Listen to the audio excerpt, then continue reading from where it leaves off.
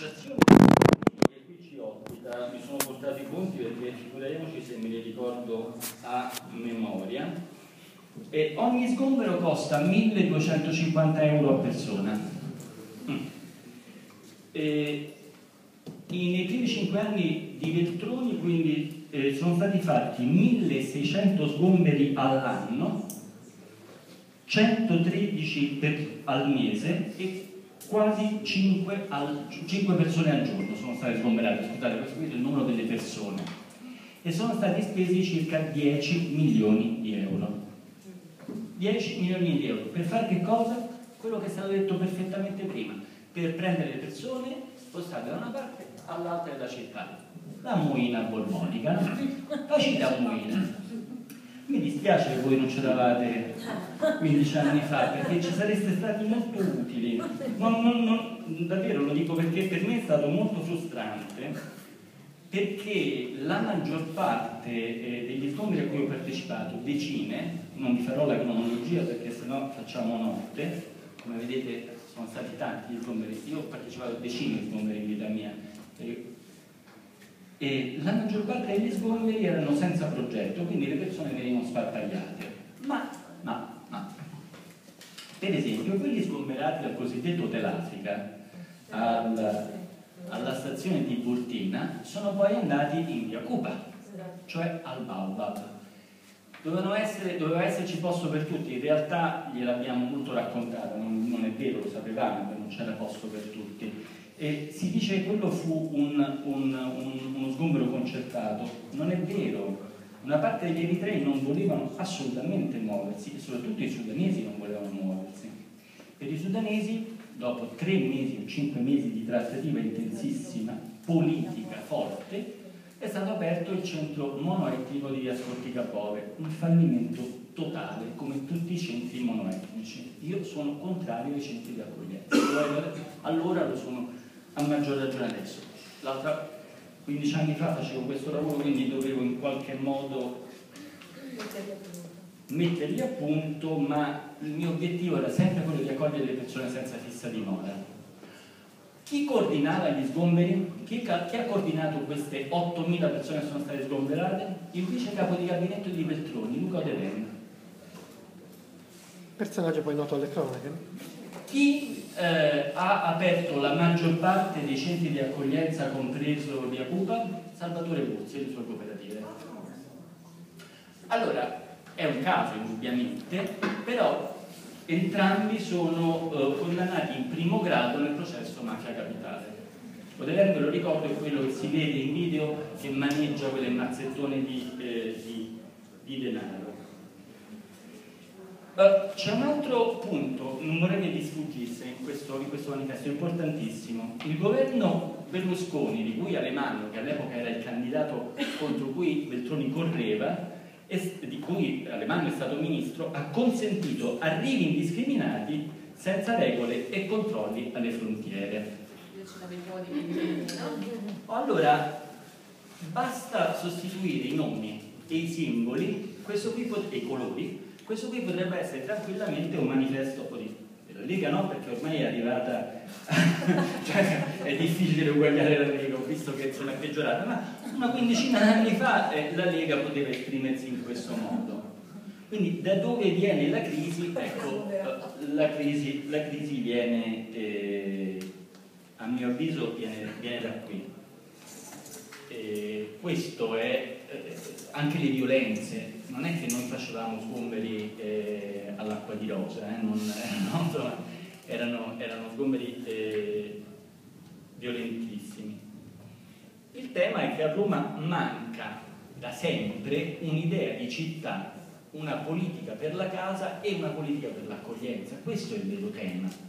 Non dovevamo esserci noi della sala operativa sociale lì ad assistere eh, a quegli sgomberi. Gli sgomberi non dovrebbero nemmeno esserci, ci si dovrebbe pensare a priori. Questo fa una città intelligente, una città che ha una visione.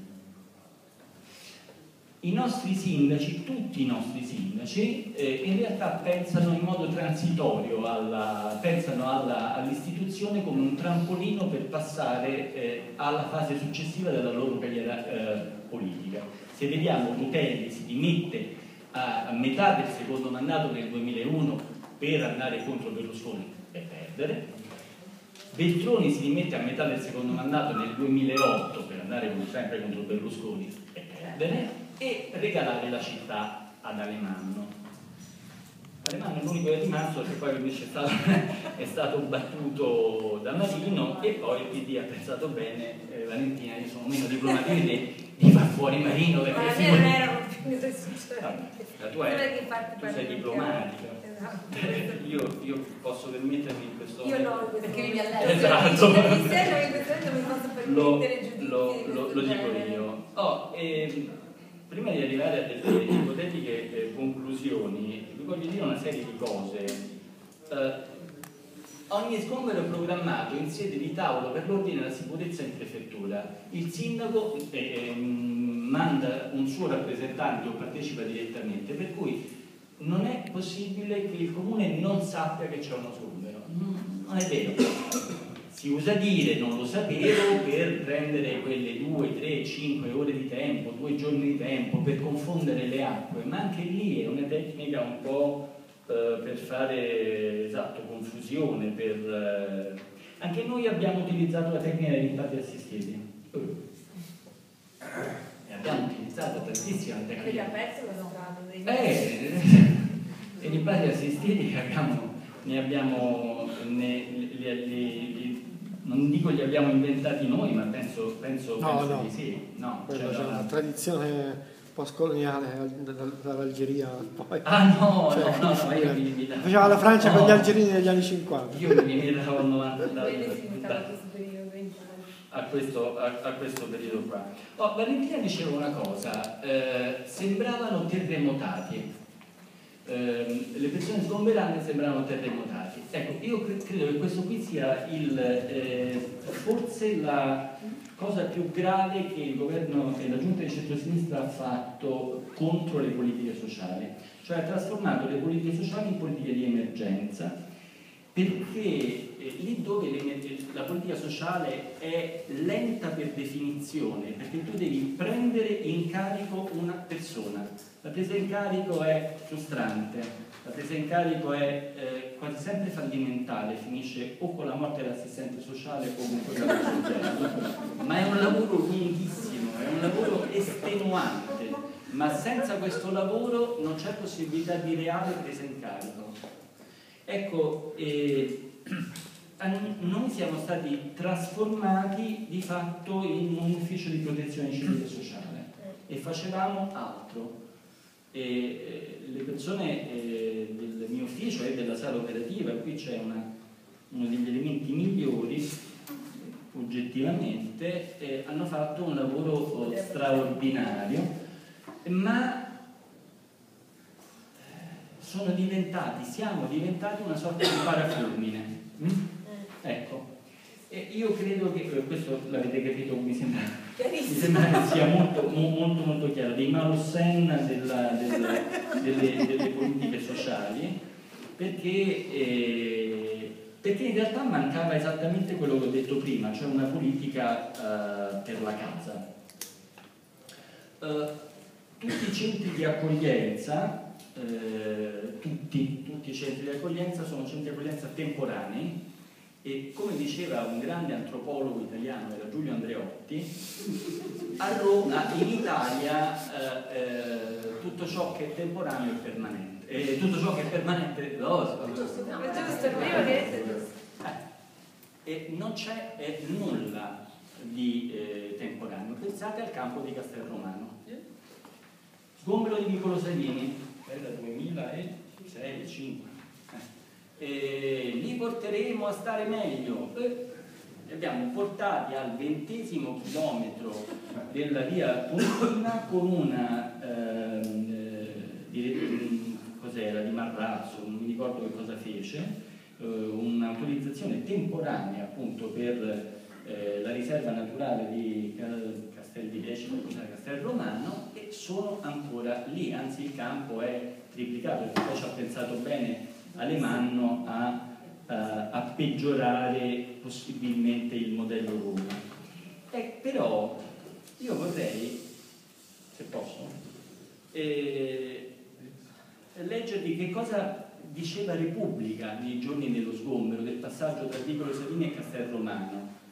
E questa è una cosa molto che fa la differenza. Allora, se vai in quella pozzanghera vomiti per tre giorni, dice Kemo Amidovic, 17 anni, che racconta un sorriso, il miracolo dell'addio al campo di Vicolo Savini. Il miracolo, dico io, è riferito a Veltroni, perché quelli erano i termini per descriverlo in quel momento. Veltroni dichiarò, l'addio alla favela sarà il punto di partenza per provare a vivere all'italiana. Godendone i benefici e rispettandone le regole. È una delle cose più importanti che abbiamo fatto in questi quattro anni. Grazie a dialogo e partecipazione stiamo spostando 850 persone senza tensioni. Per noi è un modello nel merito e nel metodo. Come venire con la Libia. Ora, vivere all'italiana, chiunque altro l'avesse detto eh, in Italia sarebbe stato tacciato di tutto, di razzismo in primis. A Veltroni gli passò tutto, gli, passa, gli passaste io no, gli passaste tutto. Vabbè, ora si passa tutto a tutti, è passata l'amnistia generale. Adesso purtroppo è passato tutto a tutti, quindi hai ragione, possibilmente è peggiorato, hai perfettamente ragione. E dunque, non mi tedio con l'elenco degli, eh, degli sgomberi perché, ripeto, se no eh, facciamo eh, notte. Nel prossimo tavolo parleremo anche con Enrico Cuccini del problema delle cosiddetta emergenza abitativa che non è affatto un'emergenza, è un'emergenza indotta perché ci sono soldi, ci sono intelligenze, ci sono tutte le possibilità perché a Roma queste poche migliaia di persone siano accolte degnamente. La vera emergenza, la vera emergenza è la mancanza di politica. Io però vedo che rispetto a 15 anni fa, lo so che siamo, sembra Sembra un paradosso, ma rispetto a 15 anni fa vedo uh, persone e, e, agenzie e istituzioni ben più agguerrite, quindi sono moderatamente ottimista. Cioè il problema, l'emergenza vera è la, la mancanza